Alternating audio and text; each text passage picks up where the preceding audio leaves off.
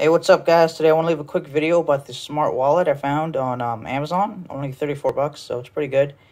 And, you know, there's all kinds of smart wallets out there with all kinds of bells and whistles, you know, like you got ones with power banks and Wi-Fi hotspots and anti-theft and cameras and all that stuff. This is like a nice, uh, simple, minimalistic, very, very small, um, compact. So, cool features. You have a little slider here. You can fit up to six cards. Well, um, it, the website says five, but I have six and then when you hold down this button right there it'll pop out. And it works pretty well flawlessly every time.